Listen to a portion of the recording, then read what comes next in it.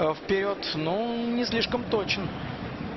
Этот самый пас. Семшов! Вороне! Нужно бить! И 2-1! Ну и вот этот удар, еще один, в голову. Сейчас динамовцы и нанесли.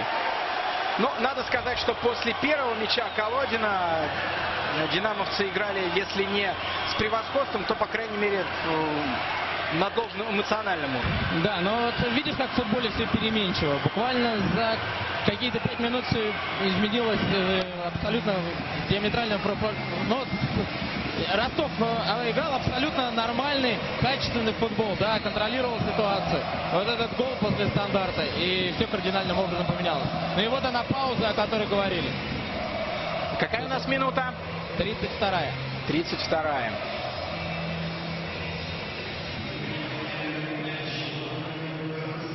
Ну что,